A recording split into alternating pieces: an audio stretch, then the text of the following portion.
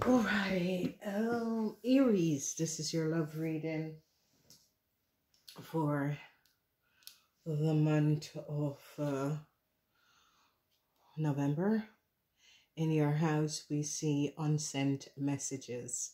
So Aries, whatever is going on in your house, there's unseen, um, unsent messages that is going on. It has to do with uh, um, a sacred union, um, it has to do with um, a Virgo, a Leo, and a Taurus. A Virgo, a Leo, and a Taurus. So, what is going on for you guys? So, in this month, there is a lot that is going on. We have the, the unsent messages that a lot of you Aries have created some sort of a message but haven't sent it. For whatever the reason is, you have not sent it and uh, I see that uh, um, you're having inspiration with someone else. So you could be collaborating um, with a partner, a new partner in love. I see some sort of a renewal of hope. You want to return to someone.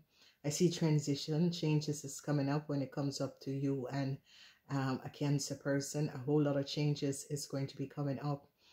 Um, then we see um, in the house of pleasure, we see you thought that uh, um, if you go single, um, that is going to be better for you, Aries. So be careful. A lot of you Aries who are married and in some sort of a sacred union, you got to be careful.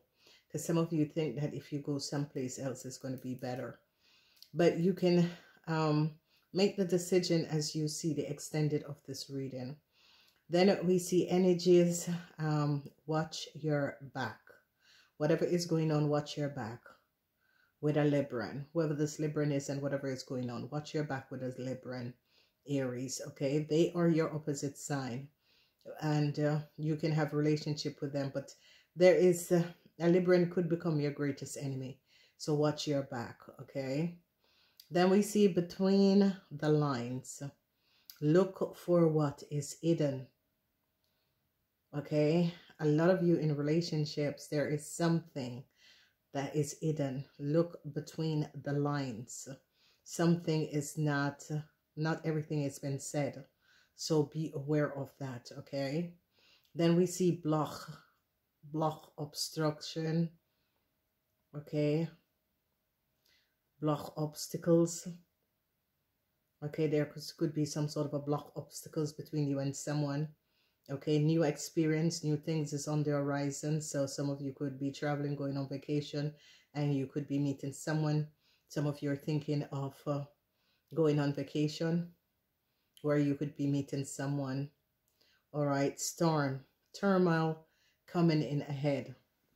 So aries you and an aquarians is going to be having some sort of a turmoil that is going to be coming up. So be aware of this whatever is going on between you and this uh, person, there is going to be some sort of a turmoil that is coming up. Okay, you between you and a and an Aries person or a, um, an Aquarian person. Um, this is where the storm, you're having issues with air sign people. All right, then when we look at uh, the 12th house, we see spiritual awakening. So some of you, Aries, have been working on yourself. You have been working on yourself. You have been working on relationships that you are in. Whatever is going on, it is that this month of November, um, you are send you're typing up messages, but you're not sending them. Okay, you can be just uh, releasing your heart and your mind from what you have been thinking, but you're not sending out these messages because maybe it's not yet time for you to send it out, okay? You're just um, jotting down what is going through your mind, how you're feeling at this moment. And so that is definitely going to be coming up for you. So there is a lot that is going to be happening for a lot of you Aries when it comes on to love. Um, this month of love is showing up um, sacred union that uh, um, you could be having with uh, someone. Uh, you could be in a marriage and this marriage is sacred union or you could be living with someone and this is a sacred union. But uh, an alarm is here, if you are in a connection with uh, Aquarius, uh, there is going to be um, turmoil between you and an Aquarius. Whatever is happening, there could be an argument that break out between you and an Aquarius. So be aware. The other person that you need to be aware of is a Libran. Okay, a Libran. Um, there, there are energies that is coming up. A Libran could become your greatest enemy. So Aries, if you're in a relationship with this person or you had something with this person or you were seeing this person, you got to be aware, okay? Some of you who are having affairs, um, read between the lines, okay? You Aries who are having an affair, you got to read between the lines. There's something that has not been said. There is something that you are not aware of. So read between the lines because not everything is as you think it is, okay? So this um this month of November, Aries, when it comes on to love, I see a lot of you will be um, feeling the comfort within yourself and another person, especially if you're just living with this person, you're going to be recognizing that you're really truly connected to this person, okay? But you got to look out for certain people that you're in relationships with, and you have to recognize uh, what is the meaning, okay? um, of this connection. So let's look at the fire sign people. Um, a lot of you are going to be leaving a relationship and going in in search or choosing to be with a Leo.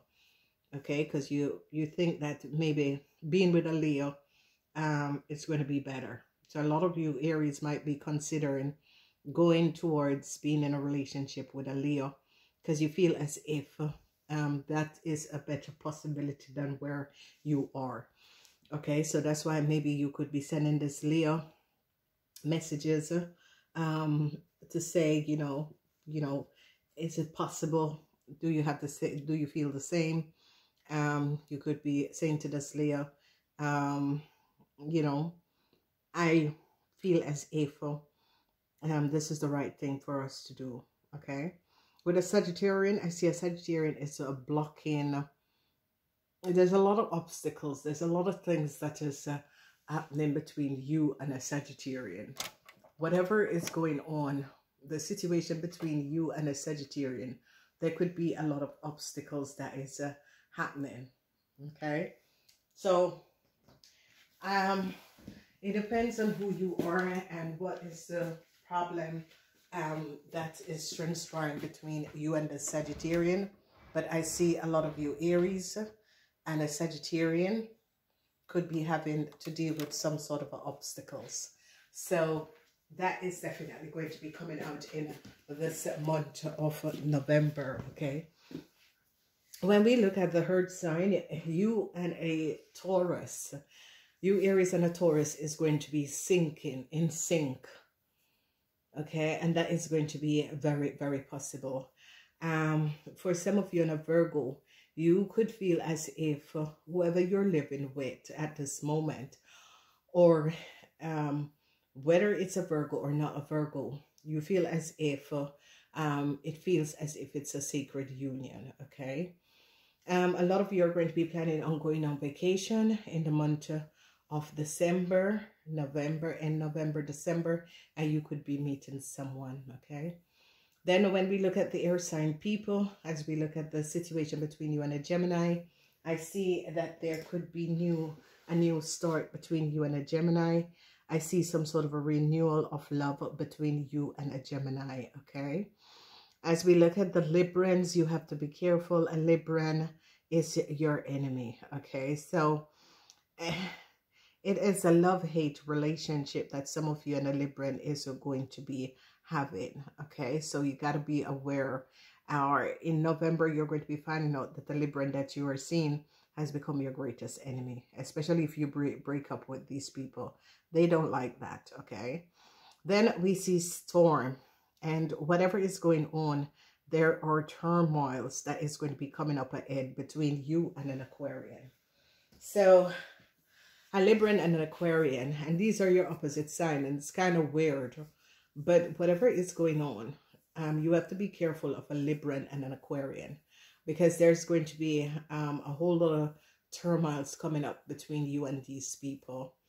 When we look at uh, um, the water signs, we look at the cancer changes is going to be coming up between you and a cancer. It doesn't look good.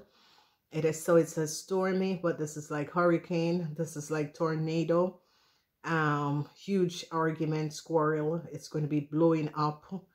Horrible. Okay. It's worse than the turmoil of the storm. This changes and transition that is coming in. Someone is going to be moving out or um, asking for divorce. Okay. Um, look between the lines, especially if you're having an affair with someone. Now, this is in the house of the scorpion, so you better look between the lines because something is happening. Something is going on. If you're having an affair with someone, they're not totally being honest to you. And as we look at the last and 12th house, we see um, realization. You're going to be recognizing that you and a Pisces um, could be connected.